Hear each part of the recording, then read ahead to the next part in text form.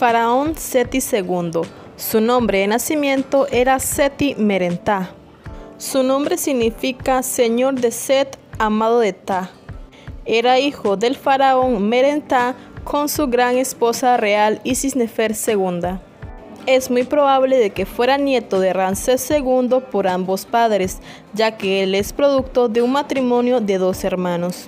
Aunque también existe la posibilidad de que su madre no fuera hermana de su padre, sino que era su sobrina. Cuando el faraón Merentá murió, Egipto se encontraba en una situación complicada. Sus fronteras aún se encontraban bien, pero tenía una gran inestabilidad interna. Esta llegó a tal punto que no se respetó la sucesión y el trono fue usurpado.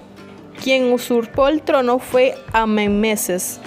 Se desconoce el origen de Amenmeses, pero se cree que podría ser hijo de Merentá o hijo de Seti. Este se recluyó en Tebas y centró su acción en el sur de Egipto. Los bandos estaban muy iguales en apoyo.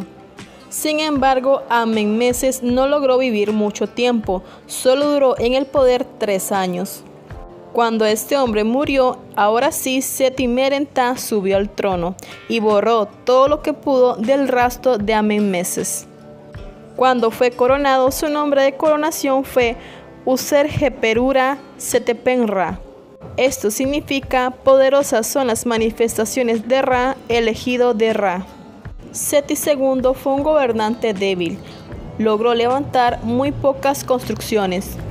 Se evidencia que en su reinado hubo carencia en Egipto. Además, no supo enfrentarse a los sacerdotes de Amón. Se mantuvo en Pirrancés con su gran esposa real Tauser. Ella era un gran apoyo para su esposo y también se tiene conocimiento del valioso apoyo del canciller Bai.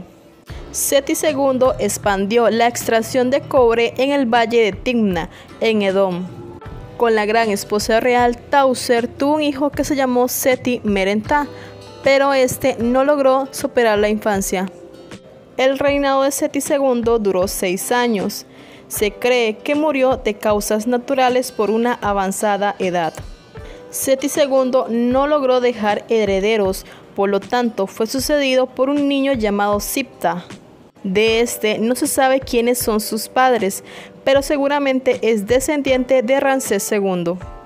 Seti II fue enterrado en el Valle de los Reyes en una tumba conocida como la KV-15, pero su momia no fue encontrada allí. Su momia fue encontrada en la KV-35, esto en el siglo XIX. Cuando se encontró su tumba, se determinó que ésta se encontraba sin terminar, muy seguramente debido al poco tiempo de reinado de Seti II. Como pueden ver, hay dibujos que no fueron terminados, evidenciando que la tumba no estaba terminada.